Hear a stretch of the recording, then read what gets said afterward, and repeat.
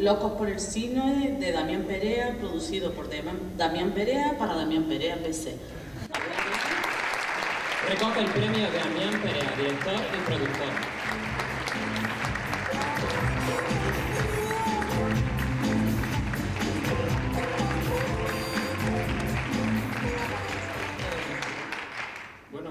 gracias a los miembros del jurado por, este, este, honor y este homenaje a la productora.